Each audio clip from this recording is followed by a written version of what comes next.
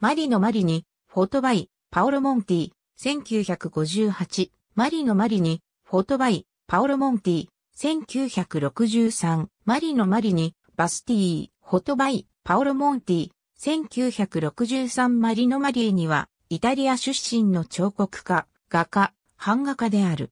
油絵や版画も制作しているが、特に馬に乗り、腕を広げた男性をかたどった彫刻で知られている。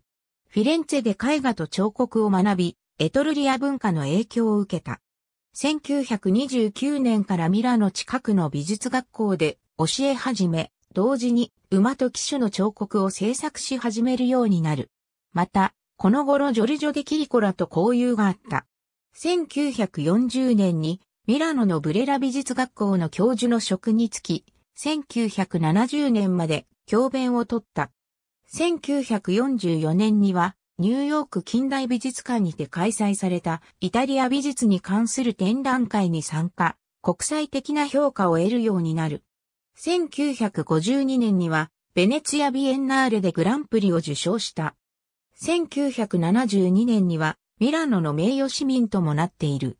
同じイタリアに同姓同名の歌手がいるが、このマリノ・マリーニとは何の関連もない。